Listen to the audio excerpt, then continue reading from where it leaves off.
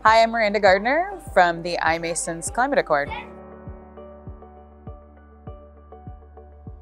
One of the ways that I see sustainability and the growth of data centers balancing themselves out is looking at informed decision making processes instead of sort of having a knee jerk reaction to either what's coming from policy or how quickly something like AI is transforming what we actually build, is to look at all the options on the table, really weigh where we can balance either loads or efficiencies, and then come to a point that engages your entire supply chain.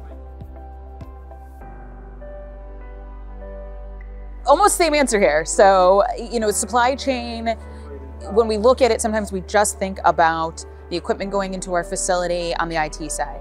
We need to look at what's going on with MEP. We need to look at what's going on with our building envelope, with the site selection, with again the criteria that's coming or the, the power supply that's coming in on the grid. Again, taking on a holistic approach to everything is really going to drive those changes and again, make an opportunity for what we would see as a future of sustainable data centers. I would, I would say exciting chaos.